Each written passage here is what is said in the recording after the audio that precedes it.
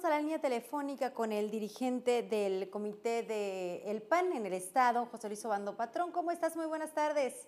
Muy buenas tardes, Adriana. ¿Cómo estás? Un saludo a ti y a todo tu auditorio. Siempre un gusto saludar. Igualmente, pues ayer nos hablábamos de algunos nombres que ya estaban definidos para eh, las candidaturas a las alcaldías de Baja California y también algunas diputaciones. Eh, si gustas compartir con nosotros específicamente, ¿a quién, ¿qué nombres puedes dar a conocer ya para alcaldes? Bueno, mira, lo que sucede es de que estamos en este momento y hasta el día de hoy cierra el periodo de registro de aspirantes. Entonces, no podemos todavía dar por un hecho que tenemos en firme ningún candidato o candidata hasta que cierre el periodo de registro y veamos si hay a lo mejor algún distrito o en alguna alcaldía donde nada más se registró un solo aspirante. Durante el día de ayer y el resto de este día todavía estaremos recibiendo la documentación necesaria, la recolección de firmas de todos aquellos que deseen participar por alguno de los distritos convocados o de los dos municipios en donde ya se abrió la convocatoria, que son Tecate y Playas de Rosarito. Ayer en rueda de prensa te escuché mencionar que en algunos de los casos sería candidato de unidad, que pues se conoce como una designación, y en algunos otros casos se estaría abriendo la votación de los militantes del PAN. ¿Cómo se toma esta decisión? Mira, eh, cuando son casos de designación, en específicamente estamos nosotros reservando algunos distritos para invitar a ciudadanos, como lo hemos hecho tradicionalmente en el PAN, y con ellos abrirle espacios a la ciudadanía para que participe en la vida política y se sumen a la transformación de nuestra entidad de nuestros municipios o en la vida del Congreso. En este caso reservamos, por ejemplo, en Mexicali, el distrito 1 y el distrito 3 para efectos de invitar a ciudadanos y en el caso de Tijuana reservamos el distrito 9 y el distrito 16 también para invitar ciudadanos. Eh, hay otros dos distritos reservados, pero ahí seguramente contenderemos con panistas que tienen que ver con una resolución del Tribunal Electoral que estamos esperando para ver qué tipo de género le corresponde a esos distritos. Y entonces ya podríamos decir, ya salió la respuesta del tribunal y ahora sí, este distrito es de niña o es de niño, y con ello ya proponer nosotros candidatos, pero serán, eh, claro que sí, panistas. Las designaciones, ¿cómo son recibidas por los panistas? ¿Por qué no sí incluir a los ciudadanos, pero abrirlo a la votación? ¿Por qué tomar esta decisión? ¿Hay temor de que no sea bien recibido? Bueno, mira, lo que sucede es que también cuando tú invitas a alguien a tu casa, cuando tú invitas a cenar a tu casa, regularmente no lo pasas por el proceso de que se ponga a cocinar o que te limpie la sala o que te arregle los muebles tú invitas a alguien a tu casa y le das el mejor recibimiento posible para que pueda sumarse a, una buena convivencia. Igual sucede con nuestros invitados ciudadanos. Nosotros estamos invitando a ciudadanos por su trayectoria, por su reconocimiento ciudadano, por la labor social altruista que han desempeñado o por su representación en algún organismo social y con ello pues ya estamos cubriendo una parte, una etapa para vincular al PAN con, con la ciudadanía y sus causas. Pero pues no tiene que meterse en una dinámica de contienda interna cuando es un invitado. Creo que eso, eso se entiende por los panistas también.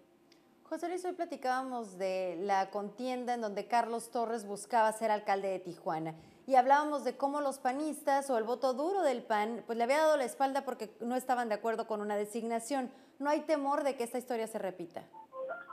Bueno, Carlos Torres en su momento no fue designado, él fue electo en una convención democrática y pues bueno, ya lo que sucedió después fue una cuestión de coyuntura política en la campaña. Pero de entrada eh, no fue designado Carlos Torres cuando fue candidato, fue electo. Eh, pero estás consciente que hubo una inconformidad por parte de Acción Nacional, sentían que era una designación de parte del presidente y bueno, el voto duro se volteó, ¿no? Una, una alcaldía que tenían casi casi asegurada, pues de momento sorprendió a muchos.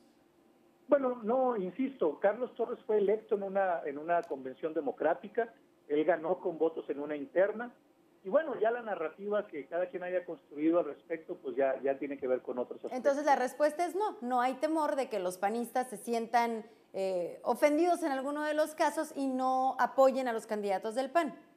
Mira, yo he estado platicando con los panistas y por supuesto que hay en algunos casos pues alguna molestia por el tema de designaciones donde a lo mejor alguno traía una legítima aspiración o había estado trabajando ya eh, de una manera honesta y transparente a la militancia del distrito.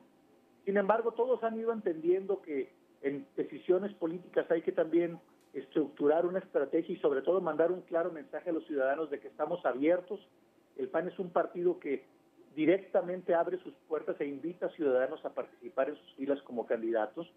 Y ellos lo han ido entendiendo. No he escuchado, no he tenido hasta el momento ninguna ruta o ningún planteamiento de rompimiento. Al contrario, cuando ya se platica con los militantes del partido, se entiende con mucha claridad que esto es parte de un todo para seguir brindándole un mejor servicio a los, a los bajacalifornianos en los ayuntamientos y en el Congreso.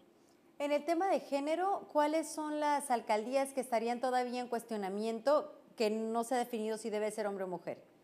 Mira, tenemos nosotros en esta circunstancia tres alcaldías y por eso nos reservamos el, el método para la designación. Es el caso de Ensenada, Mexicali y Tijuana. ¿Qué es lo que pasa? Que con el acuerdo que tomó el Instituto Nacional Electoral hay todavía confusión en cuanto a la implementación de la, de la paridad de género. Por eso el PAN y otros cuatro partidos impugnaron ese acuerdo para que el tribunal nos clarifique precisamente cómo debe de ser la asignación o cómo debemos cumplir con la paridad de género en municipios.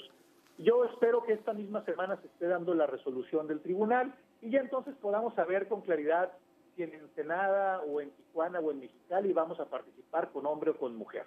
Esa es la expectativa que tenemos. José Luis, ¿sabes si el tribunal tiene una fecha límite o se pueden tomar el tiempo? Digo, tomando en cuenta que estamos ya un poco sobre las elecciones, ¿se pueden tomar el tiempo que decidan? Mira, el tribunal tendría la posibilidad de resolver hasta que se inicie el plazo de registro de candidatos, o sea, ellos no tienen prisa. Sin embargo, yo he estado dándole seguimiento puntual al tema y confiamos ya que en esta semana se esté dando la resolución. Sí es un tema que está analizando a fondo el tribunal de manera, de manera eh, a, a, profunda conciencia porque todos estamos de acuerdo en el tema de la paridad. Eh, ese no es el tema, no es el debate. No es un regateo para los espacios de las mujeres, al contrario. En el PAN somos promotores de, la participación de la mujer.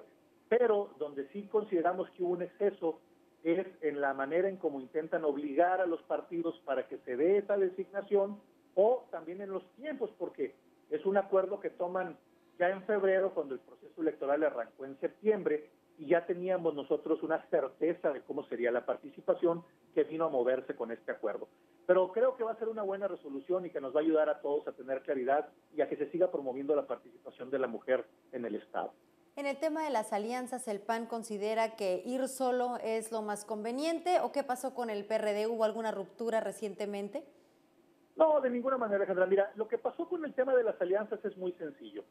Eh, yo como dirigente estatal y por una cuestión de respeto a la, a la coalición ganadora del 2013, inicié los trabajos de mesas para ver si podíamos mantener la misma coalición con la que llegamos a, a, al gobierno del Estado y algunas alcaldías y a tener mayoría en el Congreso. Creo, considero yo siempre que eso era lo responsable, eso era lo correcto. Se instalaron tres mesas de trabajo, una con el PRD, otra con el Partido Nueva Alianza y otra con el PBC. Y como sucede en las negociaciones, pues en esas mesas se fueron poniendo las pretensiones, se fueron poniendo en la mesa las necesidades de cada uno y pues simple y sencillamente no hubo acuerdo, no logramos ponernos de acuerdo. Eh, yo debo decirte para mí es diferente la circunstancia del 2016 a la del 2013. Yo, por supuesto, que en la mesa me tocó defender al PAN, defender la ruta del PAN. Yo creo que el PAN no puede, no debe perder su perfil, no debe de perder su rostro, no debe de perder su espíritu, aun cuando vaya en coalición con cualquier partido.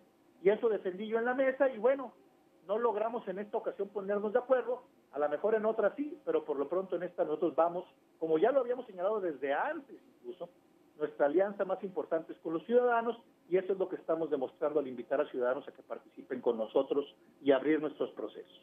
Pues esperamos en los próximos días conocer los nombres de sus candidatos y agradecemos enormemente este enlace telefónico. Como siempre, José Luis Obando Patrón, gracias por atender la llamada. Siempre un gusto y un saludo a ti y a todo tu auditorio. Dirigente del PAN en Baja California.